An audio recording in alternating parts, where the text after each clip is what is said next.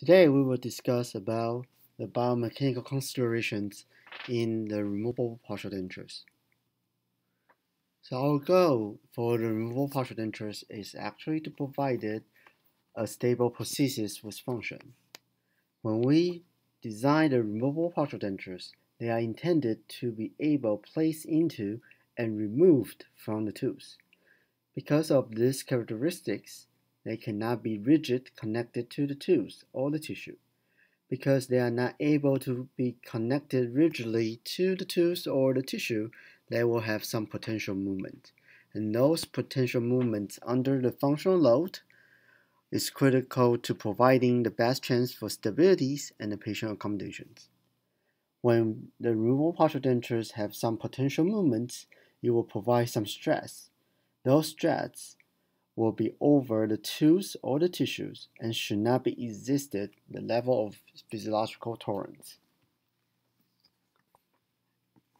In physics, then we know the machine can be divided into six different simple machine type. And the RPD, removable partial denture, is a lever. So the lever means that we will have a load and effort and between the fulcrum point. So what the fulcrum means? The fulcrum is the point on which a lever rests or is supported and on its pivots. The support point of the lever is called the fulcrum.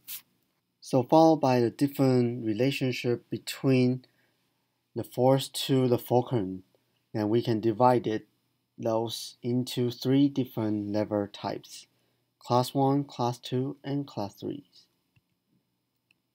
For example, if you have a distal extensions removable partial dentures, when we chew the food, the posterior part of the removable partial dentures will moving down. So this will be considered the class 1 lever. If a removable partial denture is between the tooth, we have anterior posterior rest. When you chewing the sticky food, this one try to dislodge. And you can see this is considered as class 2 lever.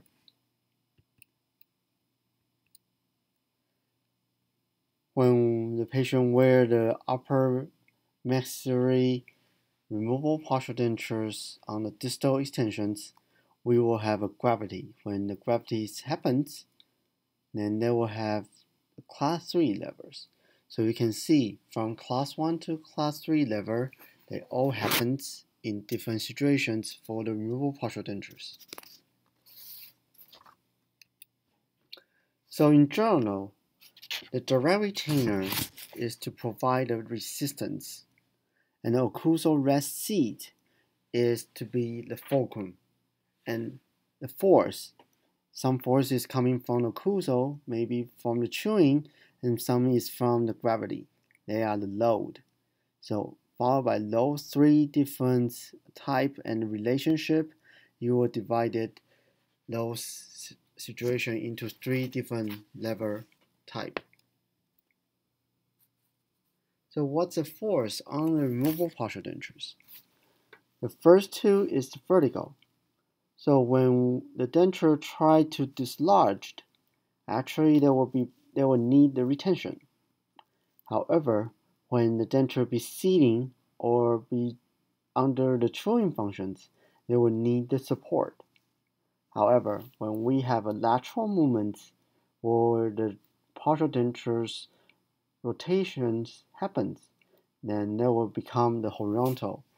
So they will need the stabilities.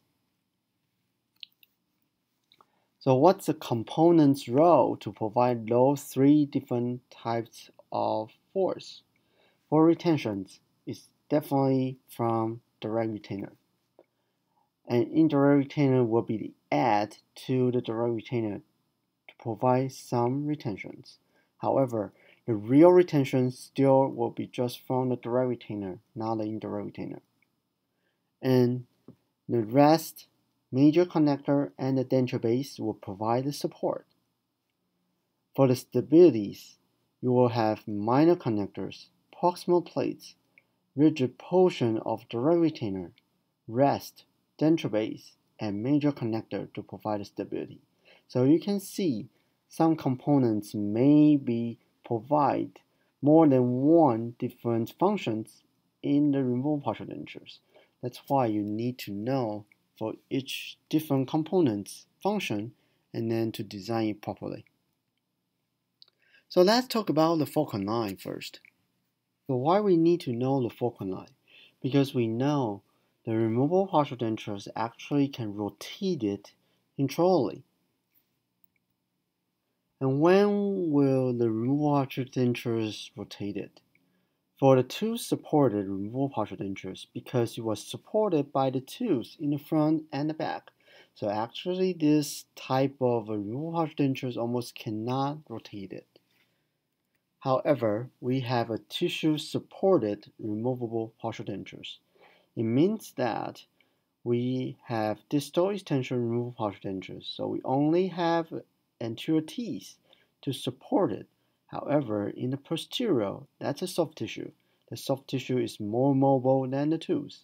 So eventually, this tissue-supported removable partial dentures will able to rotate it when it rotated, it actually is follow an imaginary line.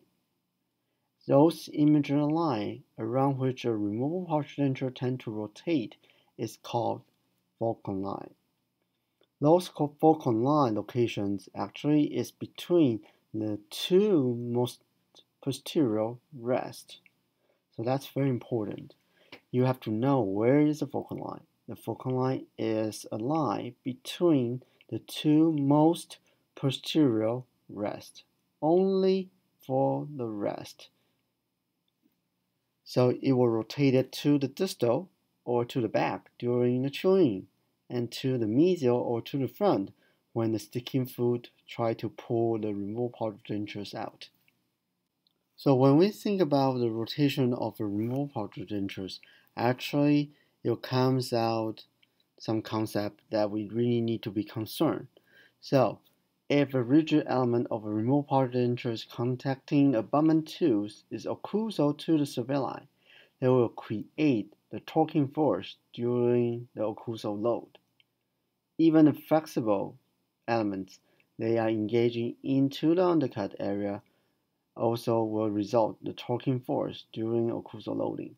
So when the removal partial dentures rotations happens, actually those elements of the removal partial dentures will provide the torquing force to the tooth. So that's why it's so important when we design a clasp an evaluation component should be followed identification for the fulcrum line to prevent the overloading to the tooth. So remember in the first uh, class I talked about the seesaw. So when we have a distal extensions, remove partial dentures, it's kind of like a seesaw. So why and when we need indirect retainer? So think about that. When we chewing the sticky food, it's kind of like someone in the posterior try to lift or try to remove this removable partial dentures out of the mouth. So on the fulcrum area, there will be the holder that will be formed or be provided by the direct retainer. However, if we don't have anything in the front to be a supporter, then the direct retainer is not easier to hold the whole removable partial dentures. That's why we need a supporter in the front, and those supporter is what we call indirect retainer. So you can see when we talk about when the removable partial denture can be rotated, you will need the indirect retainer to prevent that. So what's the ideal indirect retainer locations? So the indirect retainer location should be placed as far as possible from the distal extension base. So you can afford the best possible leverage against the lifting of the distal extension base. So think about that. If you if you place those indirect retainer a little bit close to the fulcrum line, then the force will be larger than the lifting force. However, if you put your indirect retainer more far from the fulcrum line, sometimes the force will be much smaller than the lifting force. So when we design it properly, when we place the indirect retainer as far as possible from the distal extension base, eventually you can prevent overloading to the front teeth. So basically, we will draw the imagery of a fulcrum line. Remember, the fulcrum line is from two poster most posterior rest. And then we will do a perpendicular line as you saw the dot line. And when it touch the front tooth, that one will be the ideal position. I remember in the first class we talked about what's a function or what could be acted as an indirect retainer. Remember the seesaw in the front need a support and we only have a supporter could be the rest. So only the rest can be an indirect retainer. And when we talk about anterior teeth, actually we're much likely to have a canine as our abutment tooth to be an indirect retainer because he will have a longest root in the mouth. Sometimes maybe the canine is not existing or the canine have some periodontal issue is not good enough to provide the support, then we might want to select the premolar. However, the central and lateral incisor is the least options. If you can prevent, you will not like to put indirect retainer on a central or lateral incisor, if possible. After discussing why the fulcrum line is so important and how it affects the indirect retainer location, let's talk about the other interesting topic, is where we can put the rest position. Should we put on the mesial or distal? So, when we have a distal extension based removed partial dentures, we know the posterior is supported by the soft tissue because the soft tissue is more mobile than the tooth. So this removed partial dentures actually could rotate it. When this removed partial denture rotated, if we put the rest on the distal, it actually provides a class 1 leverage relationship and it will cause harmful force to the abutment tooth. The reason is because the class 1 leverage actually you can see on the pictures. So the clasp is actually moved not just only forward, also upward.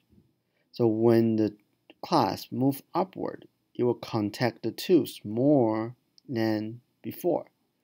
So you will provide more torquing forces to the tooth, which is not ideal for the abutment tooth. So how can we prevent that? That's why we can put the rest position to the mesial. So we can change the fulcrum line. We can also change the different class of leverage. So when we move the, the rest to the mesial, then you can see the movement will become more horizontally, not vertically.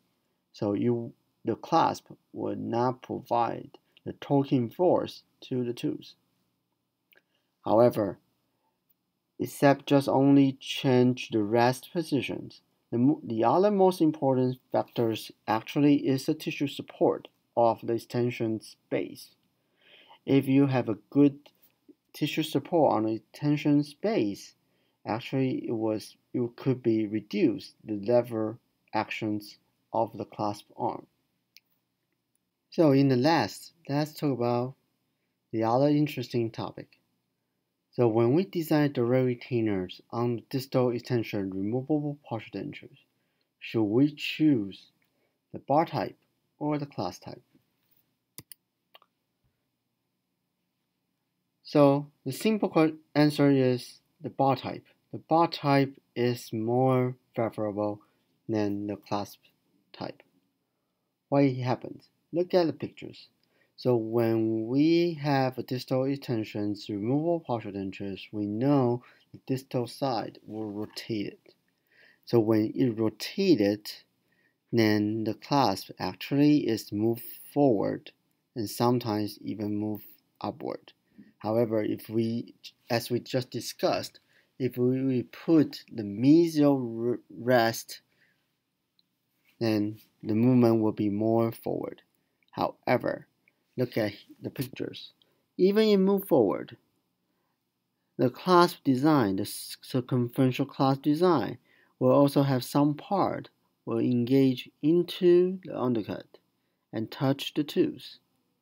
So you still provide some minor torquing forces, just not so severe as the distal rest C design.